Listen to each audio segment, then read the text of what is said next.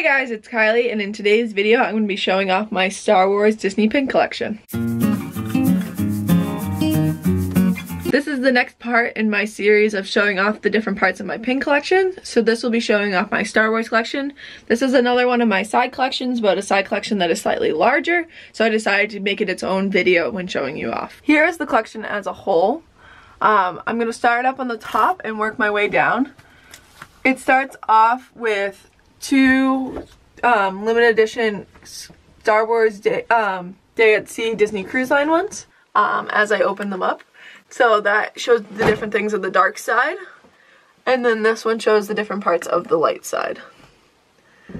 The next four over here are droids. So it's BB-8, BB-59, and two of the other droids from The Last Jedi movie. This is also a limited edition pin. So the top whole top row is limited edition. Um, this is just a TIE fighter.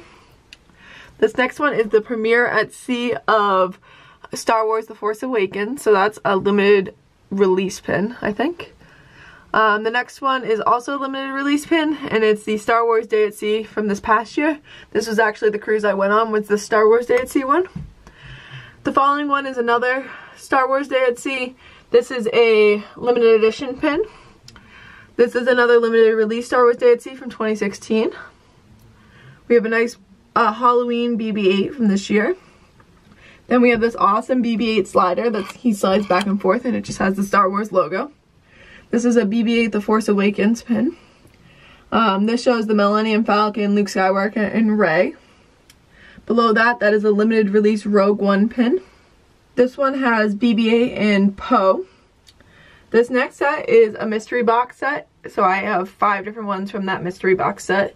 Um, it has C-3PO, Poe, BB-8, R2-D2, and Chewbacca.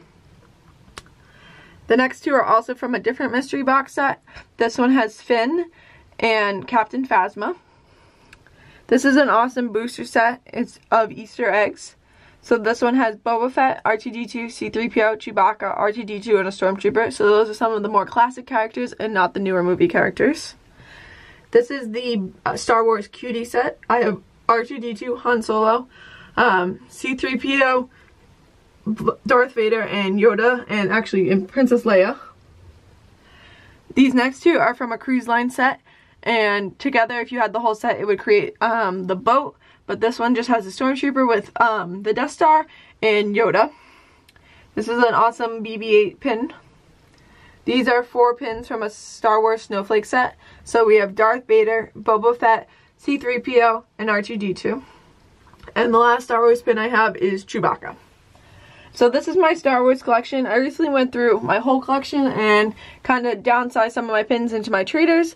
And my Star Wars collection, I did take a bunch of pins from that. Um, if you enjoyed this video, just definitely check out some of my other parts of my collection. I'll have those videos linked in a playlist. Um, definitely subscribe as I'm doing Vlogmas, and this is one of my Vlogmas videos, which means I'm posting every single day in December. So definitely turn on the bell so you're notified every time I post. And besides that, I hope you guys enjoyed this video, and I will see you guys later. Bye!